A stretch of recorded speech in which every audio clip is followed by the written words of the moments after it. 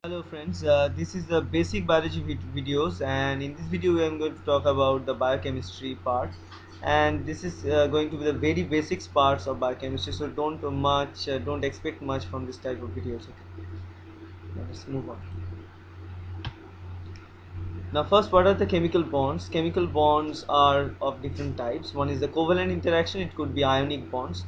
Covalent bonds formed between atoms of uh, different uh, different types of atoms sharing of electrons between themselves and on the other hand the ionic bond forms between oppositely charged ions. That means one have to have a positive charge another has to have the negatively charged condition. Then only they can interact with themselves and attach with themselves to form bonds and those are called the ionic bonds now organic molecules are molecules composed of carbon and hydrogen most of the time. The most of the time the framework of these organic molecules are made up with carbon and hydrogen and often containing other elements such as phosphorus, sulfur, oxygen and nitrogen. Now what are the elements of life? There are uh, six or seven different elements. Here you can see the six elements of life which are the which are containing the maximum part uh, of, of uh, life. This is a problematic issue fine.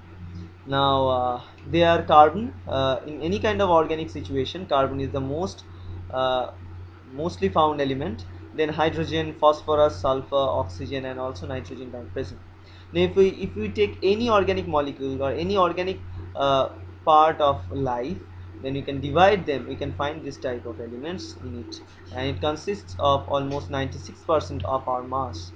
Now first let us talk about uh, let's talk about the different organic molecules uh, which are the building blocks of our life. First is carbohydrate then proteins then we'll talk about the fatty acids or lipids. Now in carbohydrates there are two types of carbohydrates. Uh, one is the simple sugars that means the example is glucose sucrose fructose which are very very basic sugars uh, which, which is uh, very easier to digest very easier to absorb by your cells. Second one is the complex carbohydrates which are made up with several simple sugars attached to themselves among uh, this carbohydrate uh, complex carbohydrates there are different types like disaccharides and polysaccharides. Disaccharides means uh, two saccharide units that means two simple sugar units are attached with each other. And on the other hand the polysaccharide means there are a lot of different sugar moieties are coming together to join to form a complex carbohydrate structure like starches cellulose and glycogen starches you know that uh, mostly found in plants and on the other hand glycogen is found in the muscle tissues of animal cells. And among simple sugars all carbohydrates are made up of these unit sugars uh, these are called the monosaccharide units. Carbohydrates that contain only one sugar is called the monosaccharides. And here this is an example of glucose and this is the example of fructose. The, both of these uh, sugars are simple sugars. We call them monosaccharides. Now disaccharides are also part of the simple sugars. Uh, so uh, uh, these disaccharides are made up with two sugar units two monosaccharide sugar units in this case. So common table sugar is sucrose which is a salt uh, which is a uh, sugar we utilize uh, table sugar we utilize all the time which is which is renowned for its typical sweetness in it. So a disaccharide that can consists of this glucose unit bonded to a fructose unit. This is called the table sugar. So glucose is combined with the fructose, and we know that here in this uh, in between them we are having the this linkage. This is called the glycosidic linkage or glycosidic bond. This is created due to the removal of water in between themselves. Now, among the complex carbohydrates, complex carbohydrates are the polymers of these simple sugars like monosaccharides and disaccharides. In other words, the complex carbohydrates are long chain of simple sugar units as I have talked. For the reasons, the complex carbohydrates are often referred to as the polysaccharides. Now, here is the example of a complex carbohydrate. And here is, uh, is the example of starch, which is a polymer of the monosaccharide glucose so the glucose is repeated here as you can see in, in, in the bracket n times it could be thousands of time repeated units of the same glucose here and they are linked via these glycosidic linkages between themselves and they can form this extremely complex molecule which is starch for storing uh, this sugar this kind of sugars for the future uses. So starches as well as cellulose are complex carbohydrates used by plants. On the other hand uh, glycogen is uh, stored inside uh, the muscle tissue of animals. Both of this kind of uh, complex uh, polymers of carbohydrates can act as storage of energy and also it gives the structural integrity. Glycogen uh, haven't talked about yet. Another polymer of glucose is a polysaccharide by animal cells. I've talked before that. Both starch and glycogens are the polymers of glucose. We've talked that also. Starch is a long straight chain of glucose unit whereas glycogen is much more cross-linked or branched chain forming unit. Now here is an example of glycogen we have seen the picture of uh, starch you can see the linearity of the starch because it is uh, needed for the storage inside the plant cells. On the other hand in case of glycogen we not only need to have this linearity but we also need to have this branching situation. So one four linkages are there. So the, here's a nomenclature like alpha one four linkage. That means the bond is the alpha position of the carbon. And this alpha one four linkage between these uh, sugars. Now you can uh, imagine that why the structures are modified. In previous case we have seen the structure of basic. Now this structure is uh, just simple the differentiation between the representation of the structure otherwise everything is the same. It is the boat conformation uh, of, of the sugar and as you have seen in the previous case this is chair conformation and all these things are there. Okay. Now now here what is uh, we can look at here is uh, the branching. So one four linkages between these sugars and one six linkages between these sugar which is called the branch situation. This one six these numbers are denoting the number of carbons that are present. So between carbon 1 and 6 so between here uh, this is the carbon 6 and this is the one number carbon and this is between 1 and 4 carbon. So 1 and 4 carbon.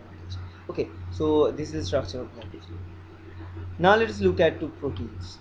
Now proteins are polymers of amino acids.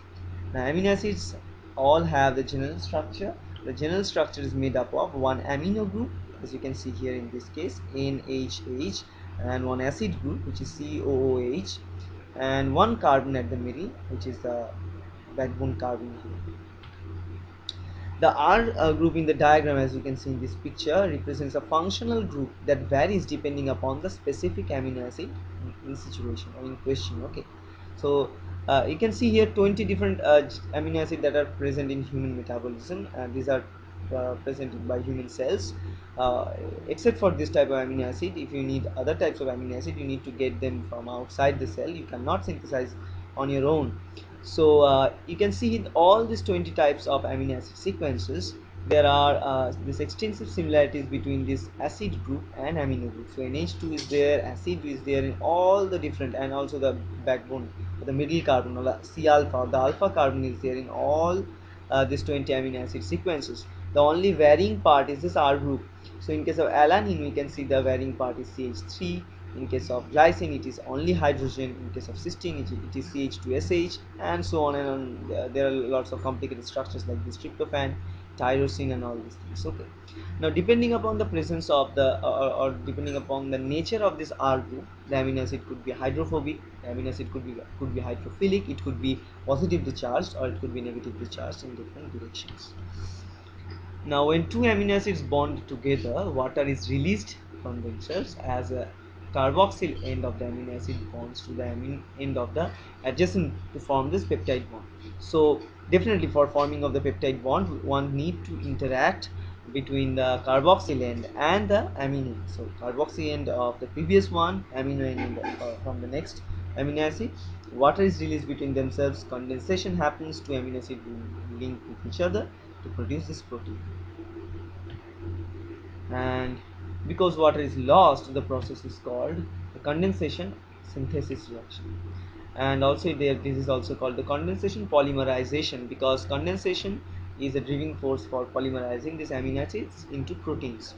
When many amino acids bonds together to create a long chains the structure is called a protein as you can see here. It is also called a polypeptide because the linkage between uh, these amino acid sequences to form proteins are called the peptide bonds. Now you can see in this picture. So these are the amino acid sequences and this is the acid part, this is the amine part in all these different amino acids and carbon and this black carbon are the alpha carbon in all these regions.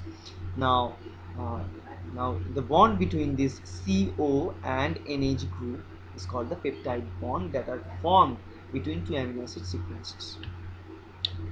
Now proteins are large molecules that may consist of hundreds or even thousands of amino acid sequences and proteins are the most important. Probably whatever you're looking at actually is protein. Uh, whatever organic material you're looking at is actually a protein sorry.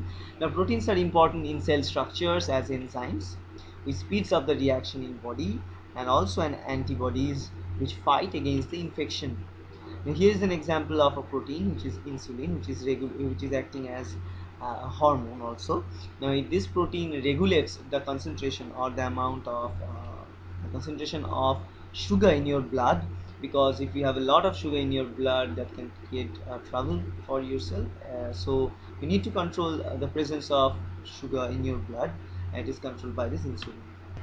Now, fats are a subgroup of uh, compounds known as lipids that are found in the body and have the general property of being uh, hydrophobic in nature. Okay, so fats uh, may have two different regions. One is hydrophilic uh, head region, another one is the hydrophobic tail region. Now, hydrophobic tail region is a longer part, hydrophilic head region is a shorter part. Now, hydrophobic tail regions will come and interact with each other and collapse with each other to form the hydrophobic core of a fat molecules. Okay. Now other lipids include waxes and steroids such as cholesterol which is uh, having a complex structure. Fats are also known as triglycerides. That means it must have a backbone like the others like carbohydrates as well as uh, proteins. So it must have a backbone. Now the backbone here for fats provided by the glycerol. And other fatty acids will come and interact with this glycerol to produce the fat. Now here you can see this is the glycerol. So it's a very basic structure of glycerol. Then the fatty acid came in and the attachment of three fatty acids in the three carbon region of the glycerol from here. So here is a OH here is another OH they will interact with each other. Two hydrogen one oxygen molecule will leave result in one oxygen attached with this COR group and will form the structure which we call triglyceride or fat.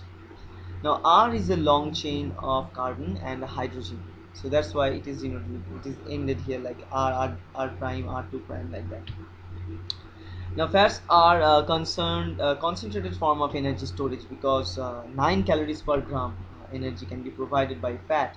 So we can utilize fat to store the energy inside our cells. That's exactly what animal uh, animals are doing. So we store our fat in our adipose tissues. The excess of energy is stored as a fat in the adipose tissues. When you need uh, during the fasting conditions those fats will be broken down to uh, other parts and then finally they will be broken down into glucose because glucose is the most reliable form of energy and mostly available form of energy. Uh, so that's why we need to convert them into glucose then we can utilize them to produce the energy and to run all the cellular processes. So that's the basic view about the biochemistry of life and i hope it will help you a little bit. Thank you